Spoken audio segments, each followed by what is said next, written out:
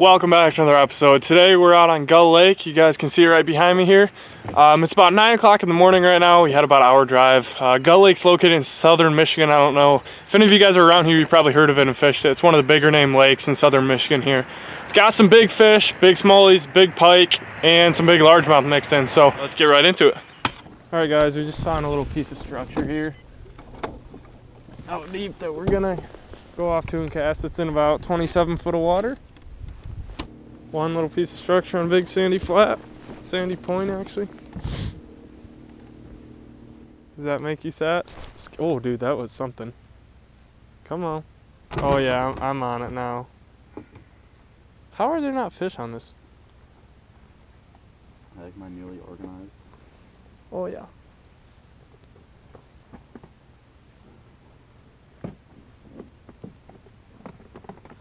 There he is. Good. Yep. Let's go. Oh, he popped off. Look at him. That's so cool. You can still see him. There he is. That's a big fish. Second drop.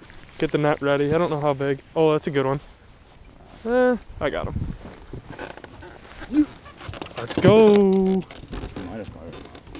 I did. That's all it ta- takes. We were talking about that. Sometimes all it takes is the first one to bite at it, and then next drop, like we've casted straight down, dropped down on them a couple times.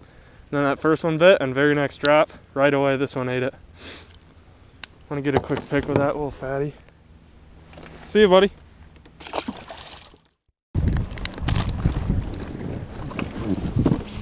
All right, guys, we just marked a little tree. I think there's a little crappie off the backside of it or something. They might be smallmouth, but I'm pretty sure they're crappie, so. How are you looking back? Good. It's right here, right in front of us.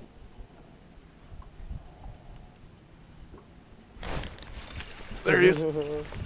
That's so sweet. First cast. That's a, a smallmouth.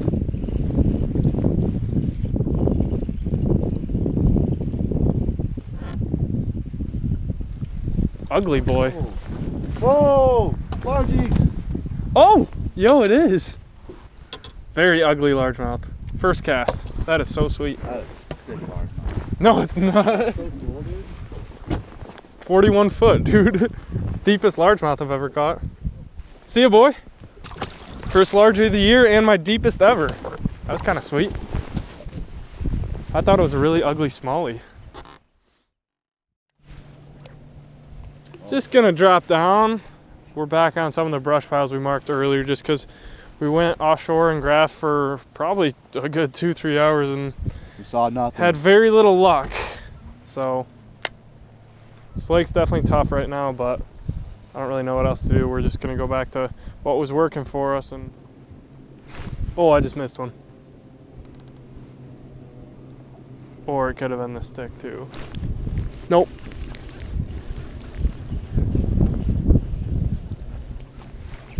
Yes, dude.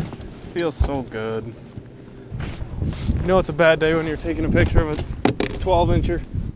Guys, we're switching up game plans. We uh, did a lot of offshore stuff this morning. Bite has just been tough all day. Um, this lake gets hit pretty hard, as you guys can probably tell. There's a lot of boats out here, and it's a Wednesday. Um, so yeah, there's a lot of pressure, and just this time of year, it's tough. It's been cold last couple days. Um, not trying to make excuses, but um, so we are going to switch up game plans here. I, uh, what do you have tied on? Megabass Spark Shad. He's got a little spark shad swim bait tied on. I just put on a little jerk bait. We're just gonna move up shallower here and try to find some of these more active fish that have maybe moved up on top of these 10 foot flats, something in that range. It's Um, a lot warmer shallow. and yeah, the water is quite a bit warmer. Because the water's so clear, they're able to see our, our boat a long ways off. So we're just gonna try to make kind of long casts and maybe get bit up on these shallower flats. So that's the game plan for the next couple hours at least. See if we can't have any luck with it. Honestly, I think. Got him. It's probably a pike. Largy. All right, guys. So you saw we just caught that largemouth, and I think it was my second cast. So we're just gonna continue to make long bombs out, and uh, hopefully try to target some more of these um, fish that are moving up onto these shallower flats, looking to feed. Water temperature here is about like 43, 44. So Just trying to do long, slow rips. Give these fish lots of time to key in on that bait as the water's still pretty chilly.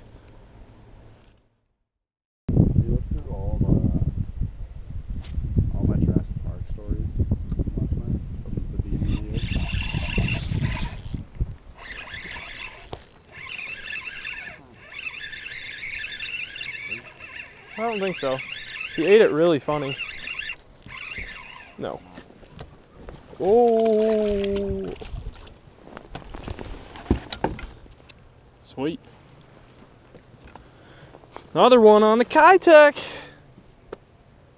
Half his lip is red and like the other half isn't. That's a weird looking fish. See ya, boy. He ate it so funny. Do you see how many? He like tick tick tick, and then grabbed it. I wish one would go tick tick tick on my bait.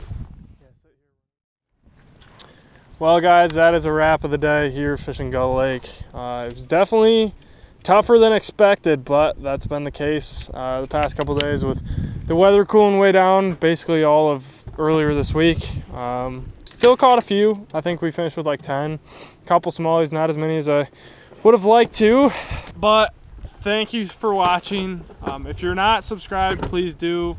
Really appreciate that. We're trying to make a push for 500 here. So yeah, if you enjoyed, like, comment, and subscribe for more. Thanks for watching. Catch you next time.